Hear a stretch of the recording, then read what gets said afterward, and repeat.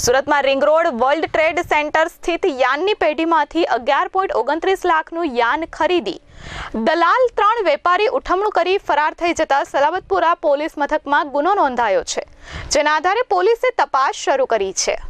Police પાસેથી મળતી વિગતો મુજબ સુરતના ring road world trade centre સ્થિત યાનની પેઢી મહેક ઇન્ટરનેશનલમાં ગત જુલાઈ બે હજાર બાવીસમાં માર્કેટિંગ સ્ટાફ મારફતે દલાલ કિશન રાફલિયા આવ્યો હતો. અને મેનેજર મનોજભાઈ પટેલને મળ્યો હતો. તેની મારફતે બાદમાં વિઠ્ઠલભાઈ, ત્રિકમભાઈ રાફલિયા, સંજય પટેલ અને દિનેશ પટેલની પેઢી, સિત્તલ એન્ટરપ્રાઇઝ અને દિનેશભાઈની બીજી પેઢી લડ્ડુ ગોપાલ ક્રિએશન જુલાઈ માસમાં. કુલ અગિયાર લાખ અઠ્યાવીસ હજાર છસો તેર રૂપિયાનું યાન પેઢીમાં મોકલ્યું હતું. જોકે નિર્ધારિત સમયે પેમેન્ટ માટે ફોન કરતા ત્રણેય વેપારી અને દલાલોએ શરૂઆતમાં વાયદા કર્યા હતા. અને ત્યારબાદ મોબાઈલ બંધ કરી, દુકાન બંધ કરી, ઉઠમણું કરી ફરાર થઈ ગયા હતા.